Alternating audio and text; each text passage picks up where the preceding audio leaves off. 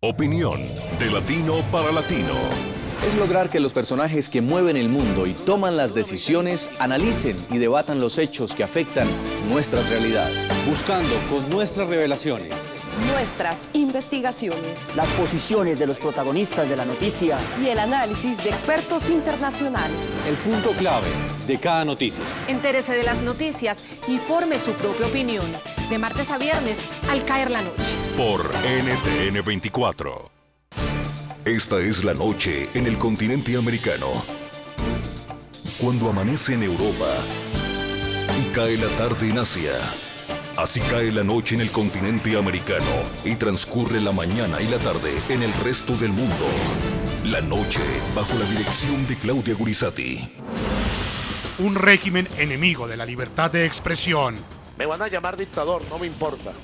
Voy a hacer normas muy estrictas para que se acabe el amarillismo y la campaña y la propaganda que se llena y se alimenta de la sangre y de la muerte que la promueve, se va a acabar. La prensa escrita venezolana, bajo amenaza ante las fuertes restricciones y trabas que le impone el gobierno chavista para la importación de papel. Los medios impresos salen del control por el espectro radioeléctrico. Entonces, ¿qué están haciendo? Dicen, bueno, vamos, como el papel tiene que estar autorizado, las divisas, bueno, no les autorizamos más divisas. Ante el cerco estatal y la novedosa estrategia de censura implementada por el gobierno de Nicolás Maduro, 13 periódicos han tenido que cerrar y otros 17 sobreviven reduciendo el tamaño de sus publicaciones. En la medida en que no tenemos papel, la posibilidad de conocimiento de las atrocidades del régimen y de su marcha abierta hacia la dictadura, pues son más difíciles de, de comunicar. Hoy en el programa La Noche de NTN 24 hablan los protagonistas de la noticia. El presidente de la Comisión de Libertad de Prensa e Información de la CIP, Claudio Paolillo, y el presidente del diario El Impulso, Carlos Carmona, explican y denuncian el asedio y la nueva mordaza que busca imponer el régimen venezolano a la prensa escrita. La directora ejecutiva de Andiarios, Nora Sanín, habla sobre el envío que su organización lidera de 52 toneladas de papel periódico a Venezuela y el apoyo que con este gesto simbólico buscan enviar los diarios colombianos al país bolivariano. Comienza la noche bajo la dirección de Claudia Gurizati. La noche, bajo la dirección de Claudia Gurizati, enciende las luces para que usted vea el punto clave de la noticia. Soy Jason Calderón, bienvenidos. La noticia, el respaldo que recibe la prensa escrita venezolana ante el asedio del que es víctima por parte del régimen de Nicolás Maduro. Este miércoles llegó a la frontera venezolana un embarque procedente de Colombia con 52 toneladas de papel periódico. El punto clave, ante la imposibilidad que tienen los diarios en Venezuela de importar papel, la Asociación Colombiana de Editores de Diarios y Medios Informativos Andiarios decidió prestar la materia prima para que los periódicos venezolanos, El Nacional, El Impulso y El Nuevo País puedan seguir circulando por lo menos por dos semanas más. Según Andiarios, este préstamo representa un acto simbólico por la libertad de prensa obligados a, tener que inventarnos no sé, una manera de llamar la atención sobre el problema que estaban teniendo los eh, periódicos venezolanos eh, y de qué manera el gobierno venezolano, a través de prácticas burocráticas, administrativas, de alguna forma estaba impidiendo el acceso a un insumo que es clave y por tanto estaba de alguna forma restringiendo el derecho a la información que todo ciudadano eh, tiene. El punto clave, la forma creativa que utiliza el régimen de Nicolás Maduro para poner grilletes a la libertad de prensa en Venezuela. Valiéndose de restricciones y trabas burocráticas, el gobierno venezolano no ha permitido ni facilitado que los periódicos que cuestionan al chavismo puedan acceder a la compra de divisas al interior de Venezuela.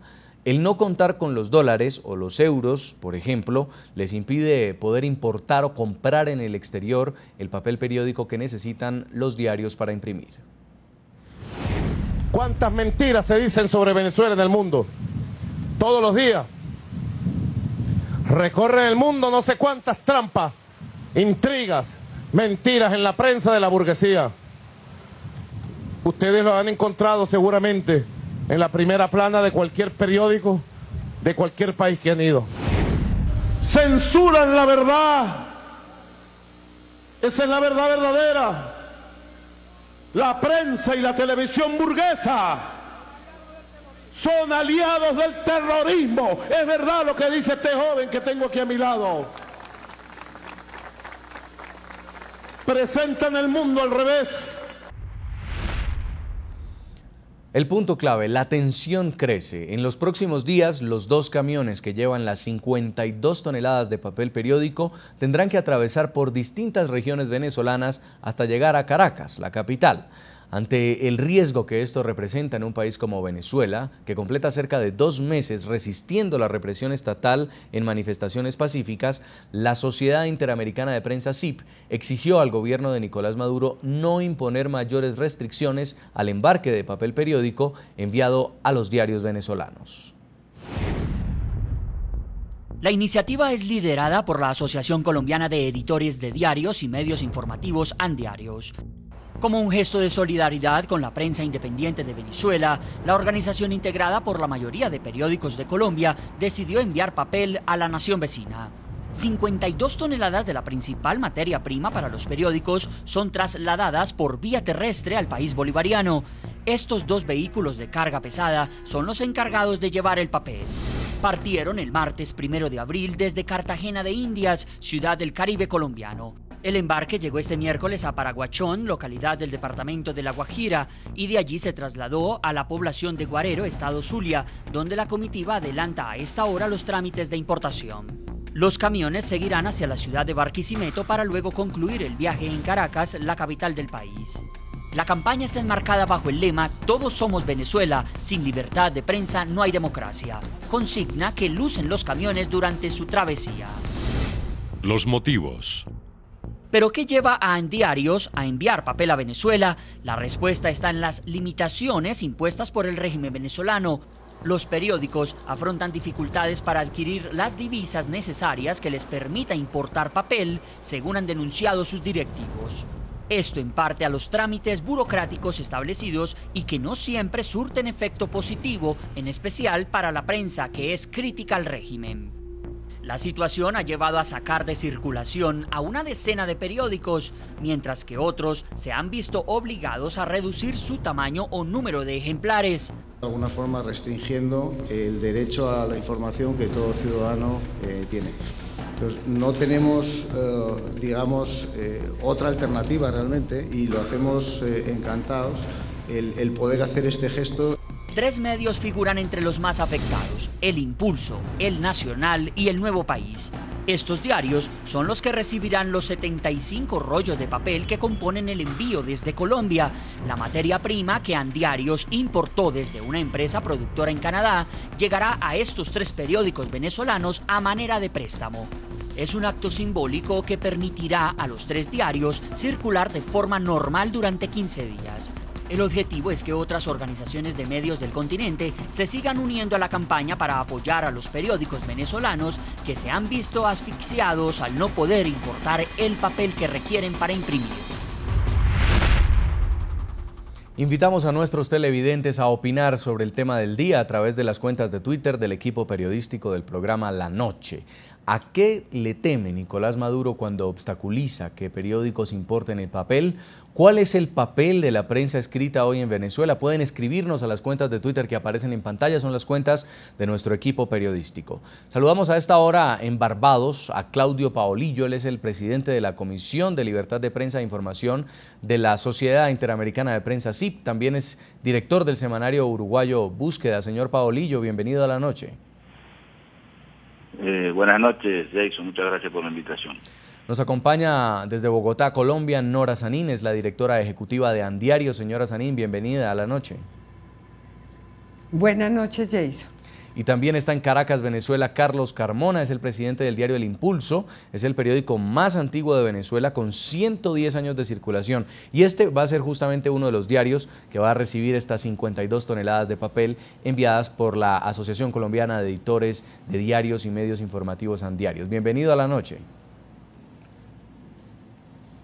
Muchas gracias por el contacto, señor Calderón. Gracias al panel que me acompaña Noemí, de verdad que no hay palabras en el diccionario para darle las gracias a los hermanos colombianos por este gesto, Claudio, el esfuerzo que están haciendo en la CIP será siempre agradecido y bienvenido. Los necesitamos.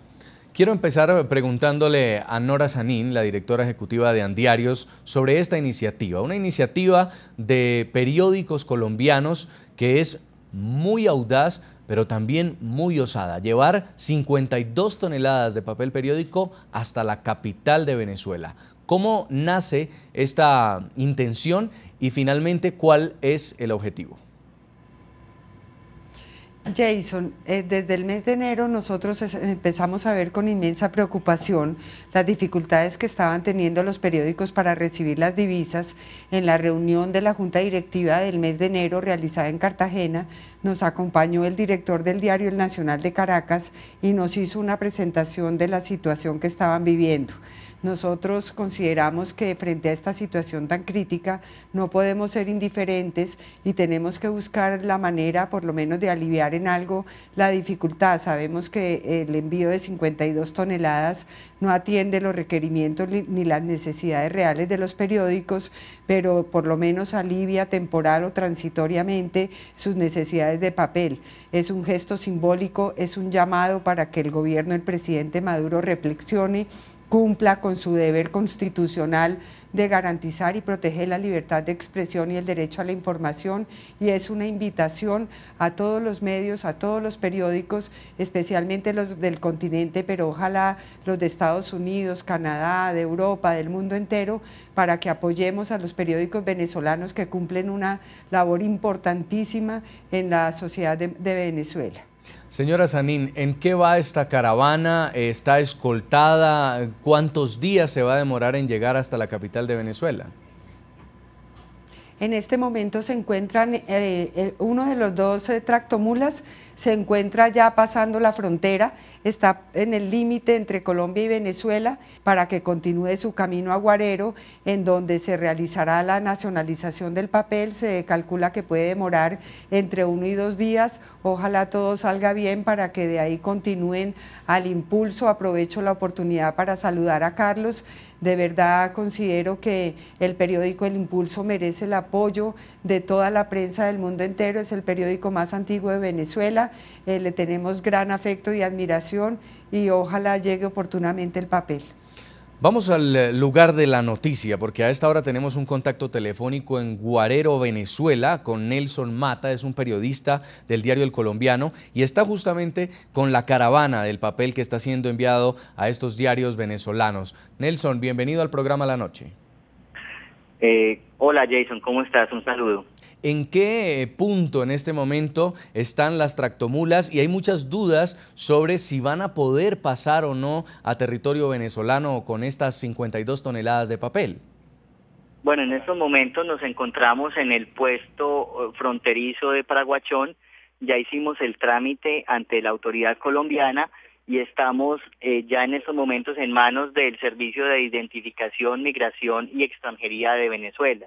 Desde las 4 de la tarde está estacionada eh, una de las tractomulas con 30 toneladas de papel aquí junto al puesto venezolano y la Guardia Nacional y Migración Venezuela están haciendo el trámite correspondiente para permitir nuestra entrada al vecino país. ¿Ha habido eh, algún inconveniente hasta el momento con la aduana venezolana? ¿Les han dicho algo al respecto de lo que transportan en estas tractomulas? Hasta el momento no se ha presentado ningún inconveniente. Los tres periodistas que acompañamos la caravana hicimos el, trámite con el pasaporte en migración y no hubo ningún inconveniente. Ha sido un poco demorado, pero para nosotros está bien que se haga toda la revisión correspondiente, puesto que llevamos todos los papeles en regla desde que se hizo eh, el viaje de la mercancía desde Canadá. Los camiones están plenamente identificados con eh, una pancarta que dice Todos somos Venezuela. ¿Allí en la frontera han eh, recibido ustedes solidaridad, voces de respaldo? Sí, en algunos casos ciudadanos del lado guajiro nos han manifestado su agradecimiento por la iniciativa y el día de ayer cuando estábamos partiendo desde un centro de convenciones en la ciudad de Cartagena, se acercaron dos ciudadanas venezolanas que residen en, Cartagena y también nos expresaron su agradecimiento por la iniciativa que en estos momentos está liderando Andiarios. ¿Y temen ustedes, señor Mata, de pronto que en el trayecto hacia Caracas eh, puedan ser intervenidos, les puedan confiscar el material en algún momento? Ninguna clase de temor. Eh, tu pregunta, Jason, me permite aclarar una cosa. Eh, nosotros estamos haciendo ese, a través de Andiarios, un acto de solidaridad con nuestro gremio de medios de comunicación en Venezuela. En ningún momento se trata de un acto de hostilidad hacia el gobierno. Desde ese punto de vista, como nosotros no vamos en una actitud hostil, pues tampoco esperamos un recibimiento hostil. Y quiero preguntarle, señor Nelson Mata, también eh, por las condiciones en las cuales van a hacer ustedes la entrega de estos rollos a los diarios. En, el, en la parte técnica, esta, estas toneladas las van a repartir en, en algunas cantidades proporcionales a diferentes periódicos allí en Caracas. Eh, sí, de acuerdo con la información suministrada por Andiarios, eh, una vez se apruebe el paso de las dos tractomulas en el poblado venezolano de Guarero, la caravana continúa la ruta por Maracaibo hacia Barquisimeto, allí se hace una primera entrega para los colegas del periódico El Impulso, luego la caravana sigue hasta Caracas y allí se hacen otras dos entregas para los periódicos El Nuevo País y El Nacional. Queremos agradecerle mucho a Nelson Mata, periodista del diario El Colombiano. Él está en la frontera colombo-venezolana en estos momentos con la caravana de papel que está siendo enviado a los diarios venezolanos. Muy amable por habernos acompañado. Un saludo, muchas gracias.